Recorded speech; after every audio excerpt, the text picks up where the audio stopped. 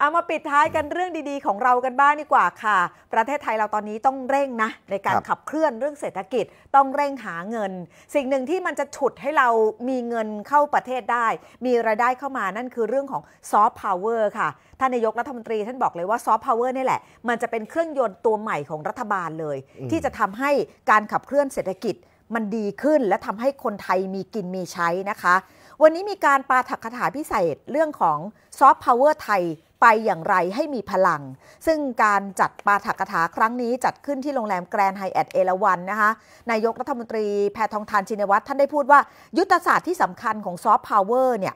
มันเป็นเครื่องยนต์ใหม่ขับเคลื่อนเศรษฐกิจทำให้ประเทศไทยของเราสามารถก้าวกระโดดได้ ภายในทศวรรษหน้า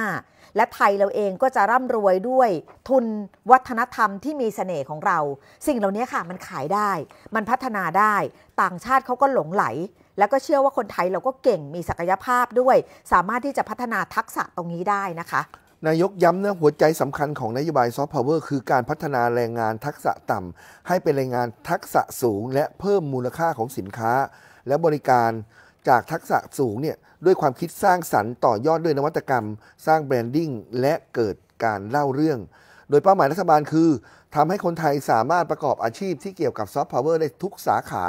ยกระดับสินค้าและบริการวัฒนธรรมไทยให้มีคุณภาพมากขึ้น สร้างสรรค์มากขึ้น มีเสน่ห์มากขึ้นอ่า